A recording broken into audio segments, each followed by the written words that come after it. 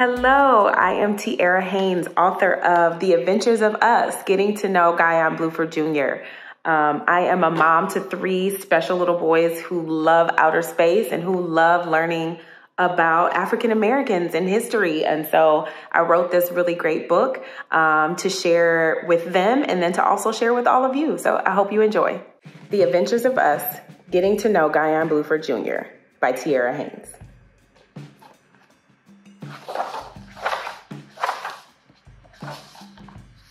One afternoon, Dre, Devin, and Dallas were waiting for their mom to make lunch.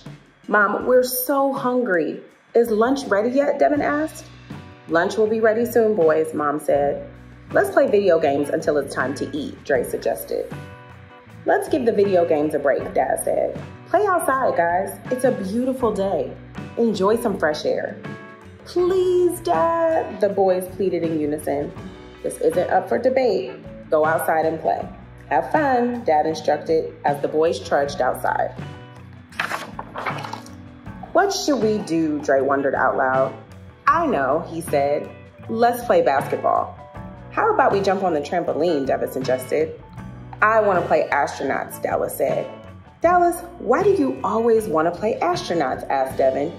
Because when I grow up, I want to be just like my favorite astronaut, Guion Bluford Jr., replied Dallas. You want to be like who? Who is Guion Bluford Jr.? Devin and Dre asked in confusion. You guys don't listen to mom at all. She taught us all about him. Guion Bluford Jr. was the first African American to travel into space, and he served as a mission, mission specialist aboard the Challenger. You know, the famous space shuttle? He's my hero, said Dallas. Oh, I kind of remember that. Wasn't Guion an Air Force pilot in Vietnam too? Dallas nodded with excitement. Yep, that's him. Guys, let's play rock, paper, scissors. The winner gets to pick what we do, Dre suggested. The three boys bunched up their hands ready to play. Dallas won as his rock crushed his brother's scissors. I win, Dallas cheered. Grab your helmets, guys. We're going into outer space. Dragging their feet, Dre and Devin grabbed their helmets, picking up cardboard boxes to place on their heads. I'm going to be an astronaut someday, Dallas smiled. Are you sure about that? Devin asked. For sure, Dallas said. Just watch. Three, two, one, blast off. Within seconds, the three boys blasted off into outer space.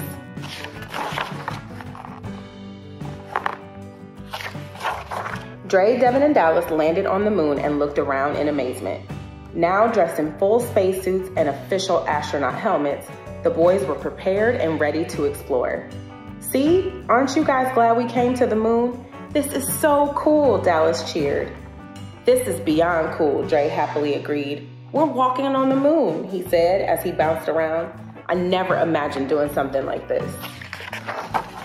Hello, you three must be our new class of recruits, a man said, appearing from behind a crater. Yep, that's us. But wait, aren't you Guion Bluford Jr., Dallas asked in amazement. That's right, but you can call me Guy. Today, I'll be teaching you everything you need to know to become an astronaut. Let's get to work and begin your official astronaut training, Guion said as he led the boys to the training center. Dallas was in awe of Guion. I can't believe we're training with Guion Bluford Jr., Dallas whispered to Dre. He's a legend. He's been inducted into the International Space Hall of Fame the U.S. Astronaut Hall of Fame, and the National Aviation Hall of Fame. He's like the Michael Jordan of astronauts. Guion chuckled modestly.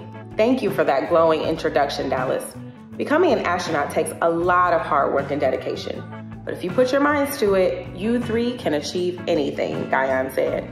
For example, to prepare for my first night launch, we had to switch our circadian rhythm, Guion explained. What's circadian rhythm? Dre asked. It means we had to get used to sleeping in the day and being up at night, Guion explained. But why? Devin chimed in. Well, during the night of our launch, we had to wake up at 10 o'clock. We ate breakfast and suited up. Sleeping during the day and staying up at night guaranteed our bodies were prepared to be alert and aware during the shuttle mission. We put our minds to it and we went for it, even though the adjustment was kind of weird.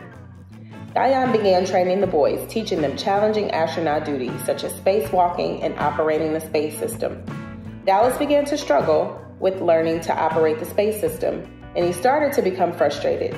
He threw his arms in the air, ready to quit. Come on, Dallas, you can do it. You've got this, Devin and Dre encouraged. No, I can't do this, Dallas cried. Being an astronaut is too hard. Who was I kidding? I'll never be able to spacewalk. I should just quit so I don't keep embarrassing myself. Dallas, we won't let you quit, Dre said, putting his hand on his brother's shoulders. We're brothers and we're going to stick together to get this done. What's our family motto? Even through fear, we persevere, the boys shouted in unison. You're right, guys. Thanks for reminding me to believe in myself. Let's do this, Dallas said as he perked up and rejoined training. The boys finished their astronaut training and Guion rewarded their hard work and determination with a badge of completion. I'm so proud of you, Guion said, and you should be proud of yourselves too. It's always great to see a group complete their training, but it's even better to see you work together to succeed. Brothers are your first best friends, and even though you won't always get along, you should always stick together. After all, look at what you've accomplished today. I have to admit, I thought training to become an astronaut would be too challenging. And even though it was hard, this showed me I could do anything. I'm so glad we did this together, Dre said, grinning from ear to ear. When we work together, we can do anything, Devin exclaimed. That's right, Guion agreed. Being an astronaut is extremely hard work, but don't ever let difficulties discourage you from trying. Being an astronaut has given me a new appreciation for the Earth. Our planet is a small ball in a large universe. I didn't recognize that until I saw the, until I saw the Earth from afar. Being an astronaut is a labor of love, and once you travel 2 million miles into space, you want to stay up there forever, Guion added. What was it like when the spaceship took off? Was it scary, Devin asked. It felt exactly like these simulators, except you're really moving. I laughed all the way up. It was such a fun ride. We flew into orbit upside down. It was spectacular, Guion explained. The boys listened in amazement, hanging on to every word of Guion's cool story. Thank you for teaching us how to be astronauts. I can't wait to come back, Dallas said. Never stop using your imagination, Guion instructed. There are so many things you can do to continue your work as astronauts. Build airplanes, do crosswords and puzzles, and of course, the most important thing is to earn good grades in school. Mom and dad always tell us to study hard. I guess they were right, Devin said.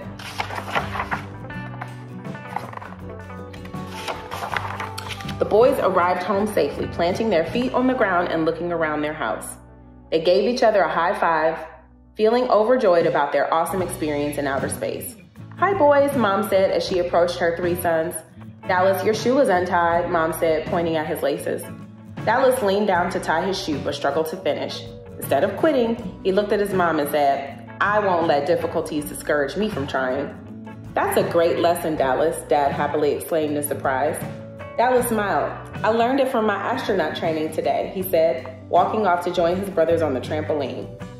Astronaut training? Mom confusedly wondered, shrugging her shoulders.